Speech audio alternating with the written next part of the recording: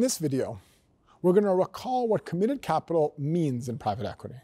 And then we're going to go through three issues with committed capital. What to do with uncalled capital, issues with IRR, and issues with fees. So let's recall what committed capital means in private equity.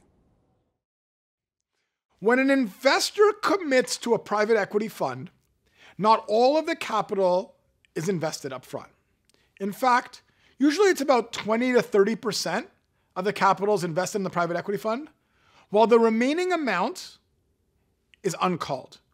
And that uncalled capital will eventually be invested in the private equity fund when the private equity fund finds deals and needs the capital. And at that time, the private equity fund is going to make a capital call. So let's go over the three issues with committed capital. Number one, what does the investor do with the capital that has been committed but not yet called? I was working with a family office in Switzerland that had this specific issue. The family office had more than 50% of their capital not called in a commitment that they had to a private equity fund in Swiss francs. A big issue there was that the family office did not want to take the money outside of Switzerland and invest it in euros, in US dollars, or another currency. Because if they received a capital call from the private equity fund, they need to convert it back into Swiss francs.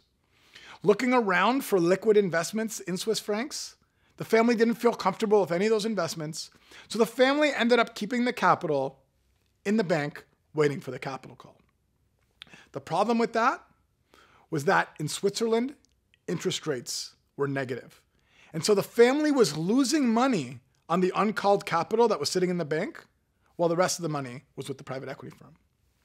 This brings us to the second issue, which is calculation of IRR. IRR is calculated in a private equity fund, starting when the private equity fund receives the capital from the investor and ending when the private equity fund gives the money back to the investor. But the calculation of IRR does not include what the investor does with the capital before the capital is called. In this case, with the Swiss family office, to keep the money liquid and available for the private equity fund, the Swiss family office had to keep its capital in the bank and was losing money on this capital. And so when the Swiss family office looks at the performance of the entire capital, well, the blended rate is going to be a lot less than IRR. The third issue is fees. Private equity funds charge performance fees based on invested capital, where the IRR is calculated. But many private equity funds charge management fees on committed capital.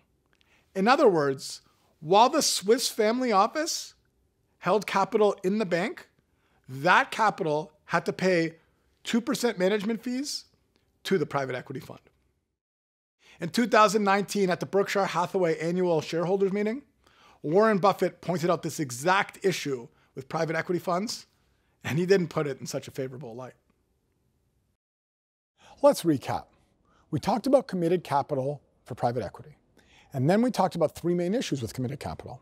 What to do with the uncalled capital, issues with IRR, and issues with fees. If you like this video on committed capital and have any ideas on private equity related topics for future videos, please comment down below.